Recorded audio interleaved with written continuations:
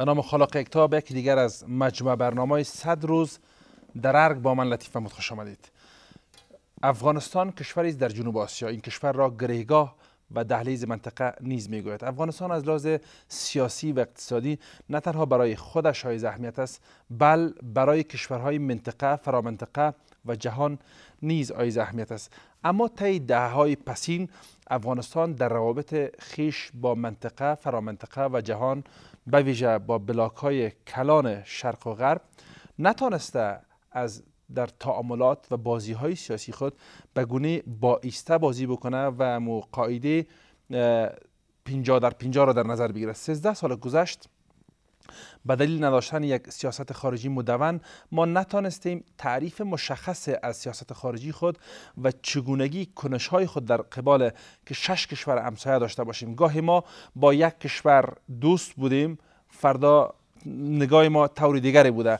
اگر در منطقه با یک کشور کنار آمدیم و همسویی ایجاد کردیم فردا کشور دیگر را از دست دادیم. ما نتانستیم که یک نگاه مدون منطقه‌ای در سیاست خارجی خود که در واقع تعریف کننده و تبیین کننده منافع ملی ما در سطح منطقه می بود ایجاد بکنیم.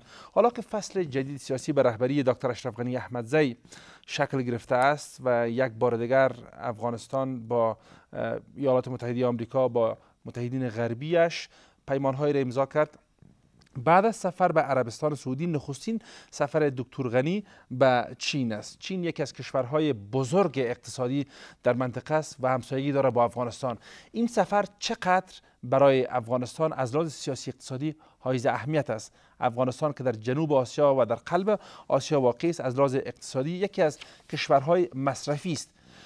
کشورهایی که با افغانستان کالا میفرستند گاهی اوقات درهای خود بر روی افغانستان میبندند و مشکلات سیاسی به عنوان اهرم فشار سیاسی بر بود اقتصادی افغانستان وارد است. باز کردن یک درب استراتژیک اقتصادی با یک کشور بزرگ مثل چین چقدر اهمیت داره برای افغانستان؟ در آغاز گزارش کوتاهی داریم. از احمد فرشاد ساله. همکار ما که هیئت بلند رتبه افغانی را به چین همراهی می‌کنند و این یک عازم چین است. گزارش را از چگونگی دیدارهای رئیس جمهوری اسلامی افغانستان و هیئتشان با مقامات چین تهیه کرده که به توجه می‌رسد. رئیس جمهور احمدزی صبح امروز سهشنبه با شمار از اعضای کابینه کشور و نمایندگان مجلس وارد پایتخت بیجینگ چین شد. وی با استقبال گرم دولت این کشور روبرو شد.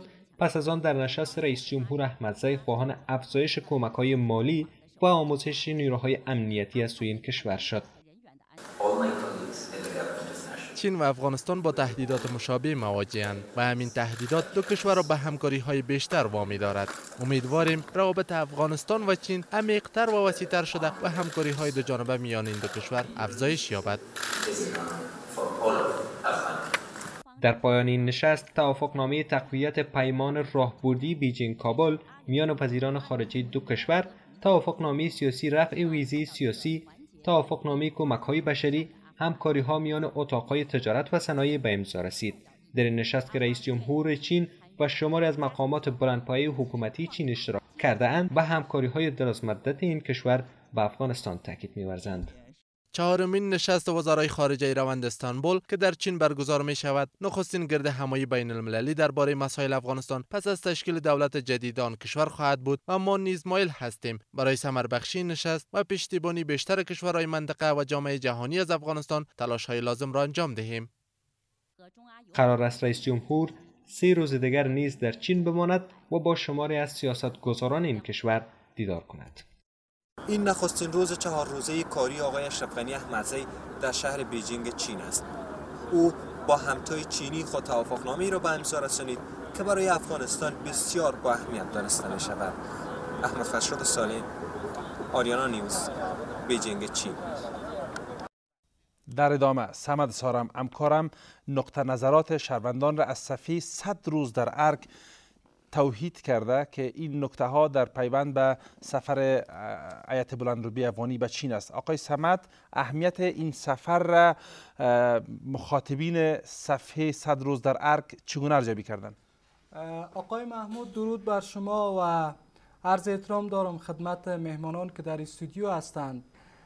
باید بگوییم که در شبکه اجتماعی فیسبوک صفحه صد روز در ارگ مخاطبان خود داشته و دیدگاه و ملاحظات دقیقی را با ما داشتن کمرایی کردند از او جمله یما ابراهیم سفر رئیس جمهور احمد زی را به فال نیک می‌گیرم گفته و قبل از امضای قراردادنامه بین افغانستان و چین رئیس جمهور احمد زی و سران حکومت ملی و متوجه امنیت افغانستان بخصوص متوجه مناطقی باشند که برای توسعه پروژه های زیربنایی بدون امنیت کار ممکن نیست. و همچنان یما ابراهیم میگه که اصل دقت را در قسمت میکانیزمی داشته باشند که پای فساد و افراد استفاده جو از سرمایه بیت المال او طرف کنند. زیرا مادن و خزانه زیرزمینی افغانستان مربوط افغانستان است. یعنی مربوط مردم افغانستان است. و نه از باجگیرانی که بله. با گرفتن قراردادها سرمایه ملی را انحصار جیبشان کنند. تشکر. آقای سارم یک نکته که قابل توجه در بود اقتصادی. ایران و پاکستان دو کشور است که کالای زیاد به افغانستان در واقع بعد از پاکستان چین است اما ایران هم کالا به افغانستان میفرسته. افغانستان هم یکی از بزرگترین کشورهای مصرفی است. اما در برخی مقاطع بنابر کشمکش های سیاسی و یا در واقع تعاملات سیاسی که گاهی به تیرگی میگرای باز اینا امین نقطه را ضعف افغانستان فکر می‌کنن و دربهای خود را میبنده. باز شدن یک درب کلان اقتصادی در منطقه به نام چین که امروزه در واقع دومین کشور اقتصادی در جهان است. چقدر اهمیت داره برای اقتصاد افغانستان؟ دیدگاه ها چیست؟ خب در این مورد دیدگاه و ملاحظات زیادی را داریم. از جمع کامنت هایی که در صفحه صد روز در ارگ است حسین بومی نوشته که از حکومت چین توقع دارم که سهمگیری جدی و حسنی خود را مثل این که در برابر کشورهای افریقایی در قسمت تسخیر منابع زیرزمینی داشته است همچنان در برابر قراردادهای توسعی در افغانستان صادقانه داشته باشد. و در این مورد بهرام موسینی هم نوشته که آقای رئیس جمهور اشرف غنی احمدزی در کنار حمایت از تاجران ملی و بین المللی باید مسئولیت و راهکارهایی را ایجاد کند تا سرمایه گذاران ملی و بین المللی احساس ناامنی نداشته باشند و نیز تضمین به تمام معنا را برای سرمایه گذاران در افغانستان از لحاظ امنیتی داشته بله، باشند. تشکر. و داشت آخرین پرسش بسیارم کوتاه پاسخ اگر لطف بکنین. که داشتن روابط استراتژیک با کشور چون اند یک اصل است. اما نگاه اند یک نگاه شرقی است. تا غربی ما دوستان غربی هم داریم. چطور میشه این توازن را حفظ کرد؟ دیدگاه چیست؟ دیدگاه های مخاطبین. خب سارا نوشته که کشورهای جهان سوم باید برای ساختن خود بازی های دیپلماتیک بلندی را همراه کشورهای مقتدر مثل چین داشته باشند. از جمله رابطه خوب افغانستان همراه با کشورهای منطقه بخصوص که بازم یادآور شده که کشور چین است. زیرا در موارد صادرات و واردات کالای افغانستان در برابر تعاملات تجارتی همراه با کشورهای منطقه کشورهای منطقه از جمله چین بسیار می‌تونه که نقش اساسی داشته باشه. ممنون هستم آقای سارم. تشکر. تشکر. به استودیو برمیگردیم. مهمانان ما در استودیو دکتر جماهیر انوری وزیر وزیر عودت کنندگان و ماجرین و محترم آمنه افضلی وزیر کار امور اجتماعی شهدا و بسیار تشکر از اینکه در این ناوقت شب وقتانه در اختیار ما گذاشتین تا گفتگوی با شما داشته باشیم. نخستین پرسش بسیار کوتاه از شما. سفر بلند ترین هیئت دولت افغانستان را به چین که اولین سفر بعد از سفر عربستان است چقدر با اهمیت می‌دانید؟ اهمیت فوق العاده زیاد داره. قسمی که اون امیال ما شنیدیم. یا چهار تا توافق نامه همکاری را بین دو کشور امضا کردن که هر چهار از فوق العاده حیاتی است برای افغانستان. اما ناگفتن امانه که اساس یا شالوده ای کارها در قبلا هم گذاشته شده بود. من جمله معدن مثل عینک که قرارداد از با طرف چین گویا امضا شده و یا کارهایی که حکومت چین در افغانستان در قسمت تپاوس گاز نفت در حوزه شمال افغانستان انجام میته این کارهایی است قبلا اساس ازی گذاشته شده و بعضی کارها هم تا اندازه پیش رفته.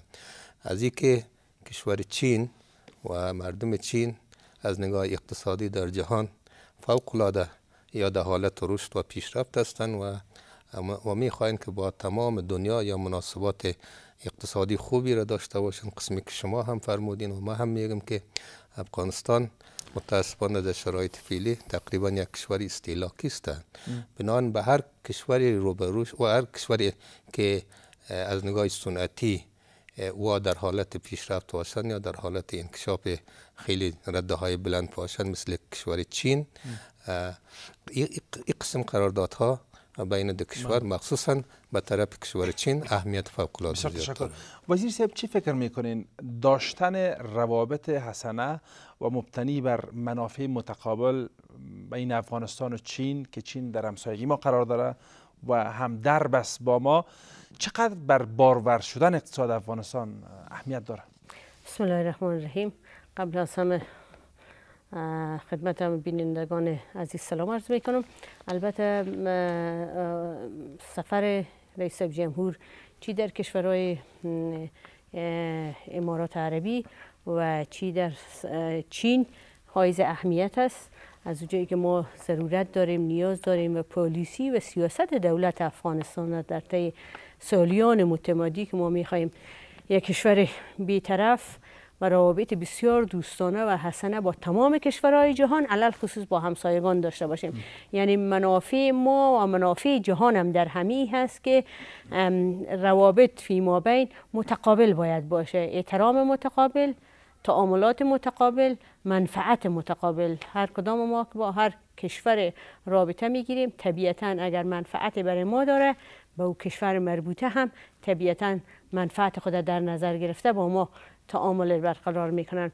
و چیزی که مهم هست بله. اول تامین روابط بسیار دوستانه و حسنه و قابل اعتماد. بله یک نکته امیجا جا داره وزیر سیب ما متاسفانه تا 13 سال گذشته به دلیل نداشتن یک سیاست مدون خارجی در کشورهای همسایه یک بار خیلی نزدیک می شدیم یک بار خیلی دور. یعنی یک روز ما شاید بودیم که دوست می شد یک کشور یک روز دشمن. ما چطور می‌تونیم با توسل به کدام اصول دیپلماسی سیاسی و اقتصادی که ما حداقل امی شش کشور هر یکش تاثیرات مثبت خود در افغانستان داره و افغانستان هم بر اونا بعضی مزایا را داره بدون تردید. چطور میشه که می روابط حفظ کرد؟ طبیعتا باید ما کاری نکنیم که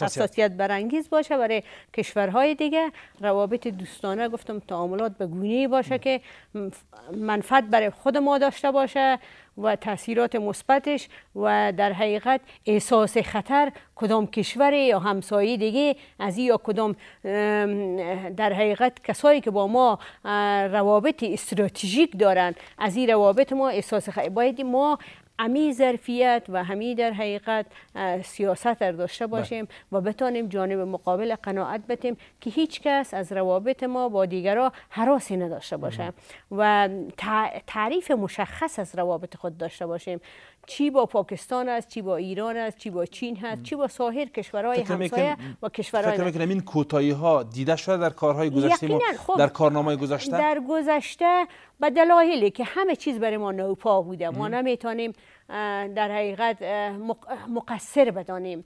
به دلایل و مشکلات طبیعتا صداقت از طرف مقابل هم نبوده. بله. ما می‌خواستیم صادقانه برخورد کنیم. وقتی صداقت نمی‌دیدیم باز مجبور می‌شدیم بله. ما هم به شیوه تندش برخورد کنیم. باز از او جایی که شیوه تند یعنی پاسخگو نیست مشکل حل نمی‌سازه. بله. باز می‌خواستیم که از نرمش و بالاخره بله. از دوستی و از روابط است. ممنون. حالا چطور میشه مشکلاتی که در گذشته بود یا کوتاهی هایی که در چگونگی تأمین روابط ما با کشورهای منطقه هم در بود اقتصادی و سیاسی بوده در این فصل نو تکرار نشه از دید شما؟ خب ببینین حال هم از گذشته به وجود میاد آن چیزی که در گذشته انجام شده یا در گذشته با وقوع پیوسته ما نمی‌تونیم که کلا بر از نقطه انتقاد بگذاریم یا انگشت انتقاد بگذاریم.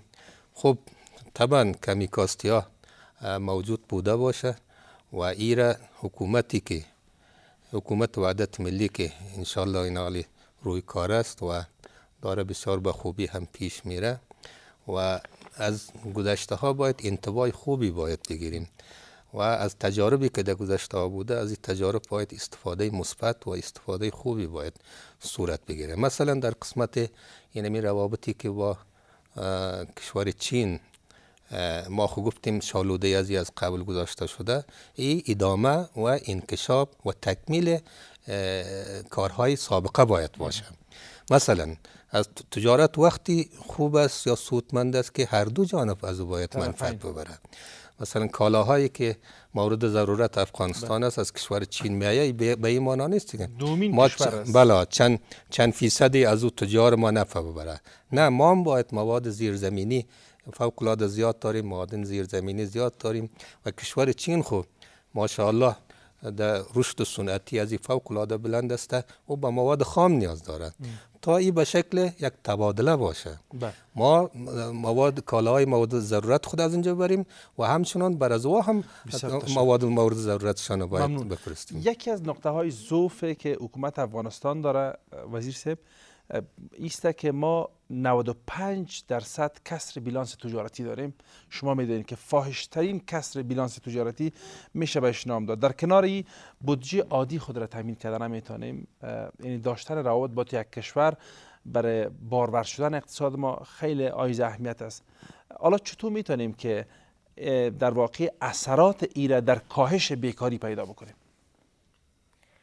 البته امور پیشتر ذکر کردیم. تماما مشکلاتی که ما داریم از گذشته به دلایل اصل مشکلات مسائل بدامنی است در افغانستان. و ما آرزو داریم کشور بعد از سه دهه جنگ هستیم. جامعه جهانی ما را در حقیقت تعهد کرده با ما که در برای از اینکه افغانستان به پا استاد شوه ما را کمک می‌کنه ما را یاری می‌کنه برای ساختن یک نظام دیموکراسی عدالت مساوات بالاخره تحقق همه همه آرمان هایی که مردم افغانستان داشتن شفافیت حکمتداری خوب و همگی بالاخره محوه در حقیقت تروریسم در منطقه و طالبی که ما امروز به این نام داریم. متاسفانه در این تعهدات خود جامعه جهانی هم با ما بگیم صادق نبوده یا درست عمل نکرده. ورنه امروز ما باید مشکل امنیتی نمی داشتیم در افغانستان.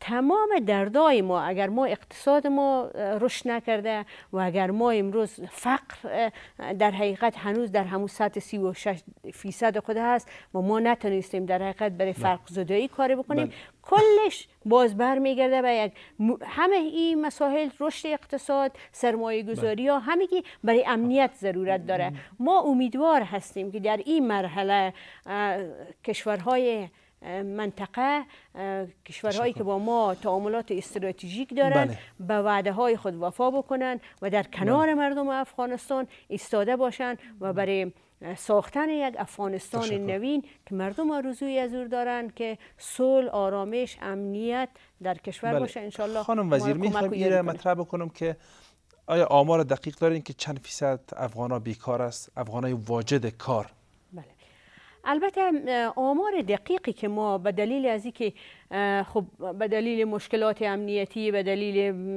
سروی های درسته که ایساهی مرکزی اصلا وزارت کار اجازه سروی را نداره. سروی ها از طریق ایساهی مرکزی میشه که او هم جدیدن بعضی سروی های به دست دادن.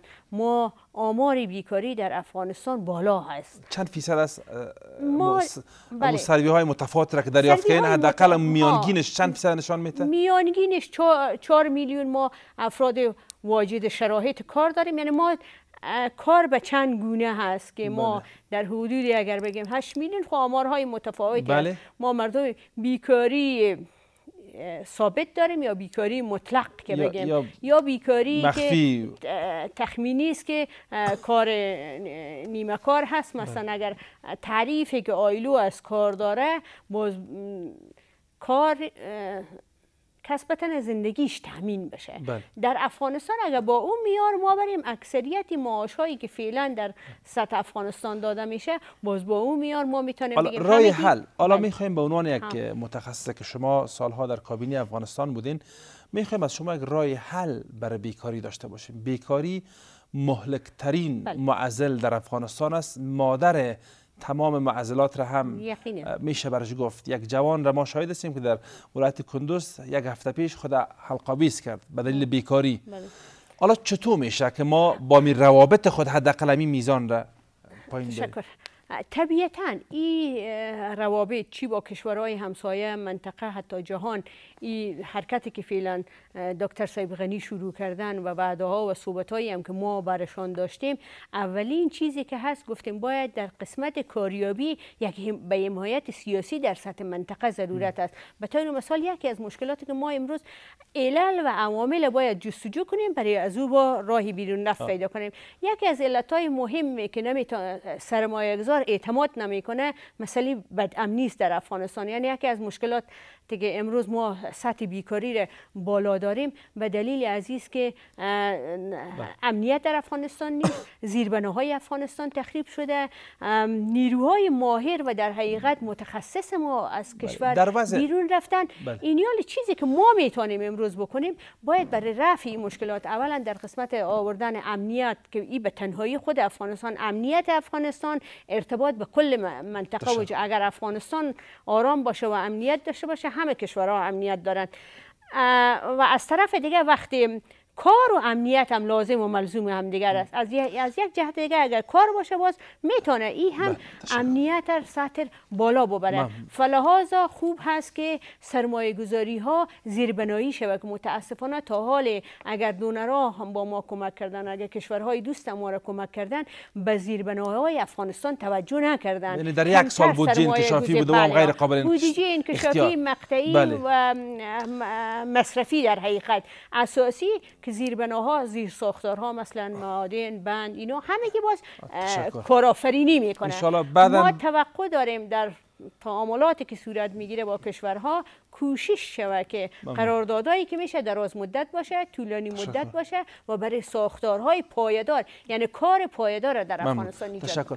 وزیر ایران و پاکستان دو کشور همسایه ماست که حالا هم نزدیک به چهار یا تا پنج میلیون آمار دقیق شاید نزد شما باشه ما مهاجر داریم. و وقتی که این مهاجرین تماس می‌گیره میگه در افغانستان کار نیست روزگار نیست ما باید در اونجا باشیم.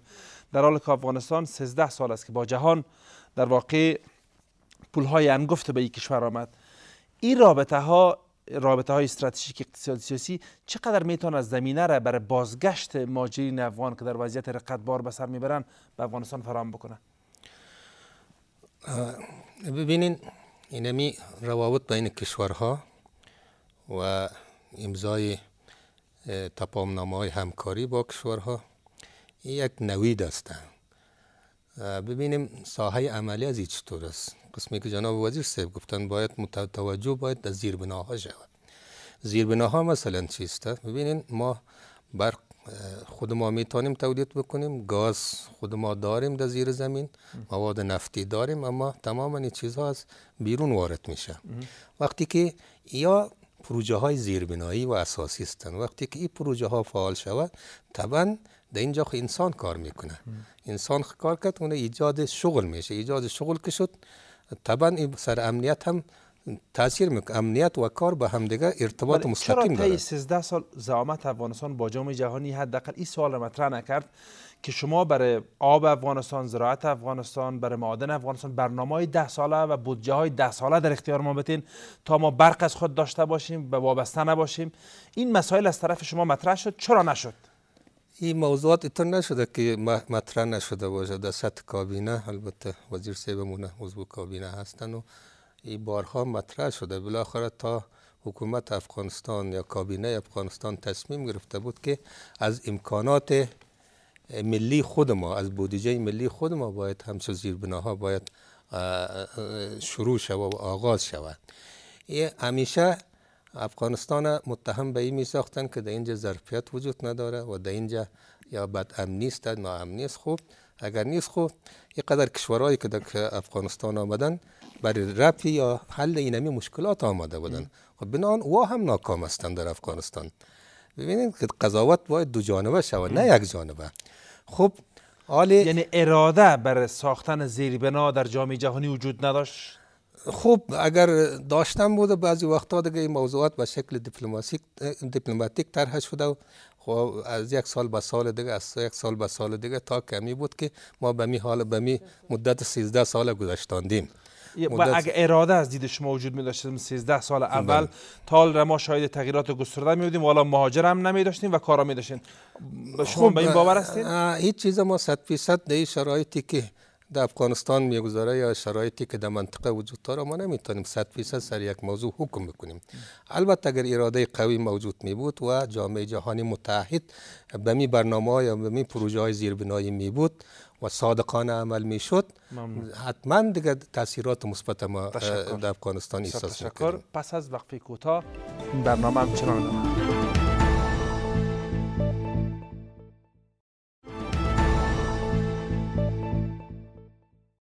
سلام مجدد بازم خوش آمدین. خانم وزیر چگونه میشه که فصل جدید را ما با یک روی کرده متفاوت اقتصادی آغاز بکنیم؟ طوری که ما حداقل گام های زیربنایی را به خاطر زدودن فقر بیکاری و سایر پیده های اجتماعی برداریم. امین آغاز را باید از کجا کرد؟ تشکر. البته ای در پالیسی ها و استراتژی دولت افغانستان بوده و آنچه که نیاز از و ضرورت هستی درک شده که ما باید اساسا اگر ما می‌خوایم افغانستان رو بسازیم و ای که پیشتر گفتم ایجاد کار شغل همه بستگی به ساختن زیربناها در افغانستان داره. ولی به دلیل مشکلات اقتصادی که ما داریم که امروز ما بودجه عادی خود نمی‌تونیم تامین بکنیم ما به کمک کشورهای دوست و همسایه و منطقه و بالاخره جهان ضرورت داریم. ما آرزو داریم که کشورهای کمک کننده امروز پروژه های کوتاه مدت برای ما ندارن برای یک سال. برای یک سال به مبلغ کم. کوشش کنند که امی نان خوردن با ما یاد نه بلکه نان پیدا کردن یاد بتن و زیربناها و زیر ساختارها ساخته شود که ما با پای خود استاد شویم و در آینده لاعقل بتانیم بودجه خود از طریق خود تامین بکنیم بله. الحمدلله می رقم که جناب وزیر صاحب گفتن که یک کشور غنی هستیم ما به قول این صحبت چند سال پیش از دکتر صاحب غنی شنیده بودم که ما یک کشور سرمایهدار بر روی گنج شیشتیم و دست خود به گدایی متاسفانه دراز می‌کنیم. ما امیدوار هستم که ما را کمک بکنن که ما همی گنجا را باز بکنیم. این هم به اقتصاد دنیا کمک می‌کنه هم به ما. و ما را لاقل از از از احتیاج از اونا خلاص شد بله تشکر. چین کشور چین بزرگترین سرمایه گذاری خود در افغانستان روی معادن افغانستان کرده. معادن افغانستان هم به عنوان یکی از اساسیه های زیربنایی افغانستان خیلی آیز اهمیت است بر افغانستان.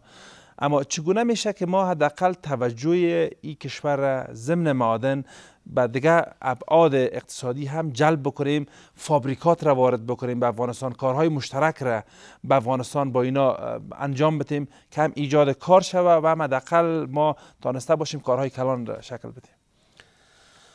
بسیار خوب. اول خو ما باید خدا بدانیم که از نگاه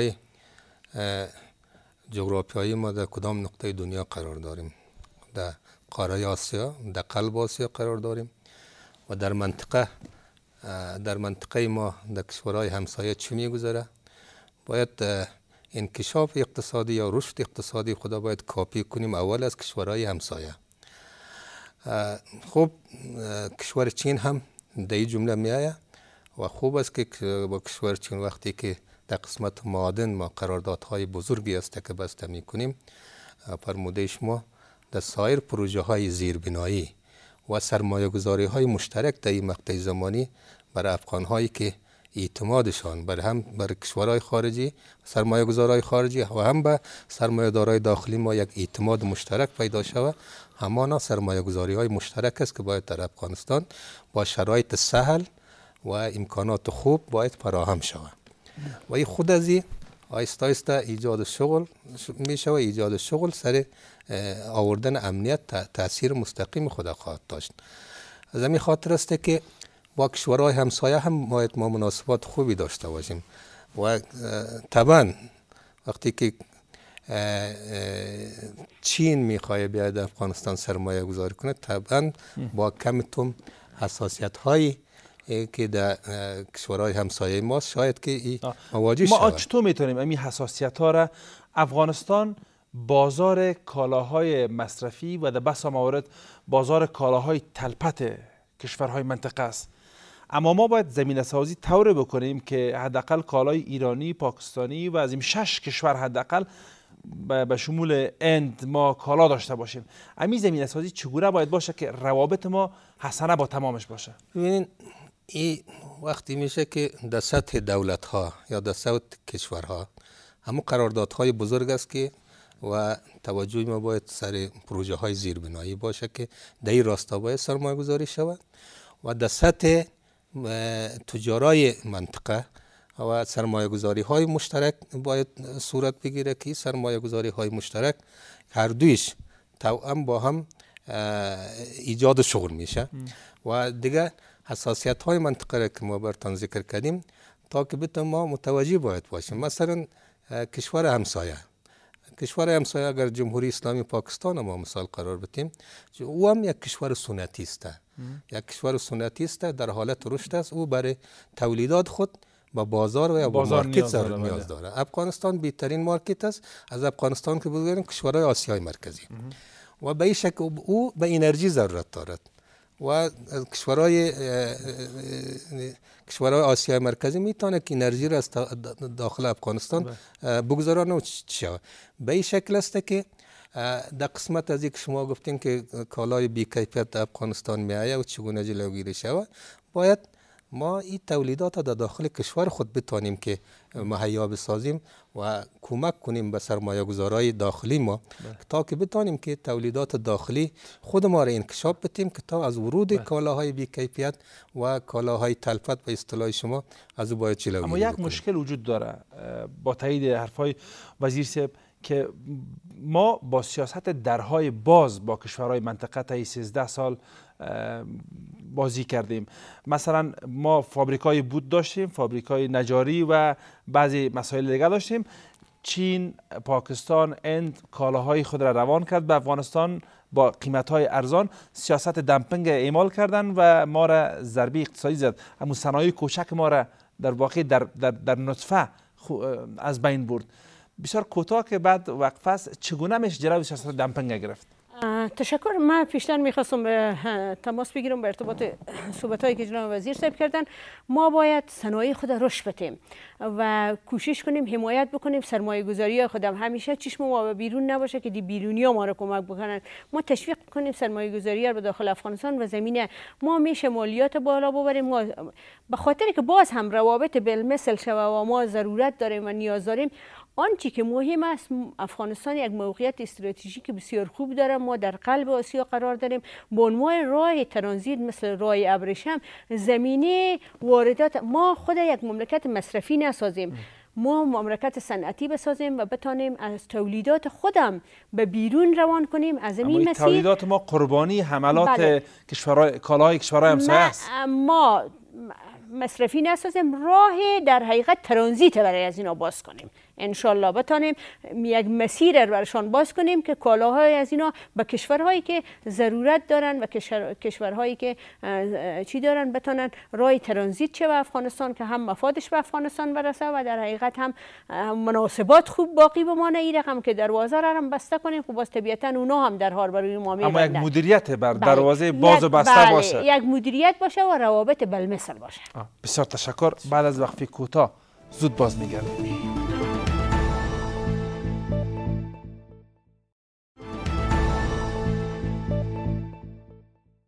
سلام مجدد. شما بیننده صد روز در ارگ هستید. من محمود. وزیر صاحب یک نکته دیگر هم که می‌خوایم با شما مطرح بکنم است که افغانستان بخصوص در می دهه های پسین بستر تضاد منافع دو بلاک بوده. بلاک شرق و بلاک غرب. همین قسم بستر تضاد منافع بلاک های منطقه‌ای هم بوده. یعنی افغانستان به گونه مدیریت نکرده روابط خارجی خود را که حداقل اصل توازن را و اصل بیلانس را میان کشورها به وجود بیاره. حالا که چین نو نگاه شانگهایی داره و گرایش به بلاک شرق داره و ما هم وابستگی های با بلاک غرب داریم روابط استراتژیک داریم این روابط چه قسم باید مدیریت شود تشکر. البته در گذشته روابط شرق و غرب به حساستر بود و جنگای سابق و مناسبات سابق اگر خوب بود اگر خراب بود به دلیل, به دلیل ایدئولوژیکی بود اعتقادی بود. ولی امروزه روابط اقتصادی شده. مبتنی بر منافع مبتنی بر منافع بله. به این دلیل خب ما باید همین درایت داشته باشیم همین مدیریت داشته باشیم. اما میگه کاری بکنیم که هم لل به دست آید و هم یار نرنجد. امین کار را ما در بله. امی انجام امی کار خیلی کند عمل کردیم. چگونه باید ما یک برندگی را به وجود بیاریم؟ بله باید امور هم از کسایی که در عرصه سیاست و خصوصا سیاست اقتصادی وارد هستند از تجربیات از اونا از نظریات از اونا. چی در گذشته ما باید استفاده بکنیم؟ یک پلیسی مدون و مشخص داشته باشیم و یک پلیسی ثابت نه که به قولی که پیشتر شما گفتین یک روز یک گپ بزنیم یک روز نه. یک پلیسی و استراتژی ثابت باید داشته باشیم. تا بتونیم امی توازن هم حفظ بکنیم با کشورها.